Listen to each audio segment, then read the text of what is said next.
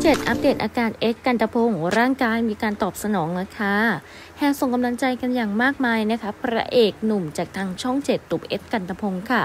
ที่เกิดอาการวูบหมดสติ ในงานอีเวนต์ของช่อง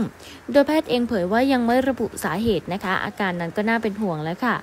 ต้องดูอาการวันต่อวันทำแฟนๆเองแห่ส่งกำลังใจกันยกใหญ่ ผู้จัดการของหนุ่มเอสได้เผยว่าเอสเกิดอาการวูบ หมดสติในงาน ตอนนี้กำลังอยู่ในระหว่างการรักษา แต่ยังไม่สามารถระบุสาเหตุการป่วยได้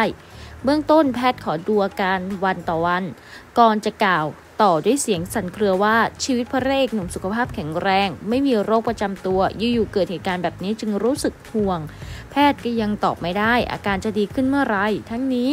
วงในเล่านาทีที่เกิดเหตุค่ะเล่าว่าร่างของพระเอกหนุ่มนั้น ก็มีหัวใจหยุดเต้น ต้องปั๊มหัวใจบนรถเข็นตลอดเวลา ซึ่งทางซึ่งการปั๊มหัวใจสำเร็จ แต่ตอนนี้อาการของพระเอกหนุ่มยังน่าเป็นห่วง ล่าสุดคนเบื้องหลังหลายคนในวงการก็ได้ส่งข้อความกำลังใจกันอย่างมากมายค่ะ อย่างไรก็เป็นกำลังใจให้กับหนุ่มเอ็ดไว้ค่ะ